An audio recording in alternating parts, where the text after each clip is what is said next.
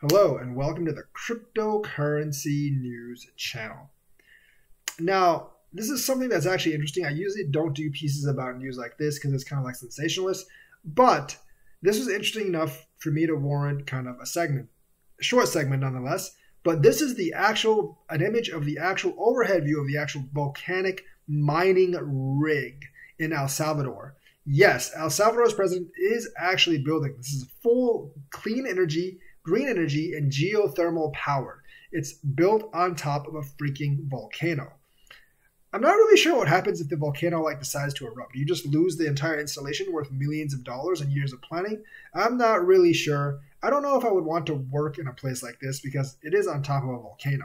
But this can easily generate huge megawatts of energy to mine Bitcoin And if Bitcoin price goes up, El Salvador might actually be able to pull itself out of the dump. This is an innovative solution to solve a country's problems, albeit somewhat risky. But declaring Bitcoin legal tender has always been risky, and El Salvador's president is not one to shy away from risk. This is from Crypto Potato.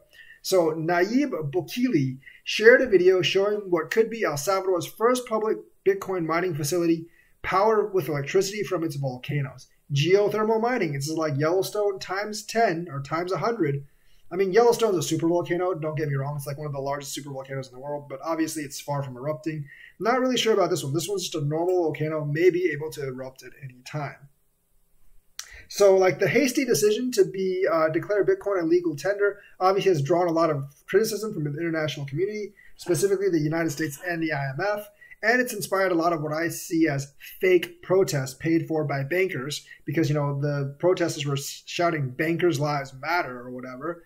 Um, and also probably by foreign interests. But he is not backing down. No, no, no, no. He is giving them the massive, massive middle finger by buying more Bitcoin at every dip and also taking the first steps to actually build this mining facility on top of a volcano.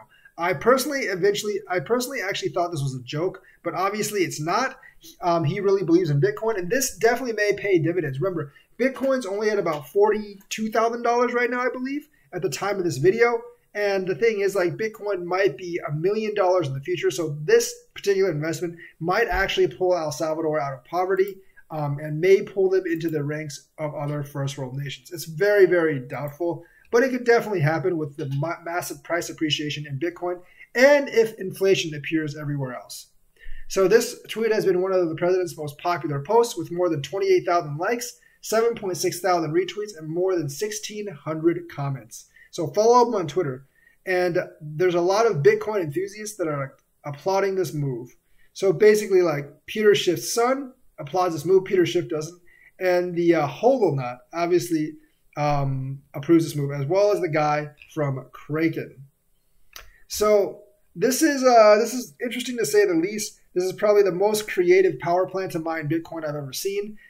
Probably the most risky too, because once again, if the volcano like somehow explodes, you're probably a little bit screwed. But like I said, it's it's free energy from the earth. Um, not much more you can say about it. Like the emissions aren't a problem because it's fully geothermal energy geothermal power. Um, and you could actually just power this honestly forever. I'm not really sure how many watts it is. I don't really have any of the details, but definitely something to look for for the future. I look to more innovations like this, maybe in other countries that can also tap the geothermal power. Obviously, we're not going to do it at Yellowstone because that's a national park, and people don't want a bunch of Bitcoin mines when they go to Yellowstone National Park.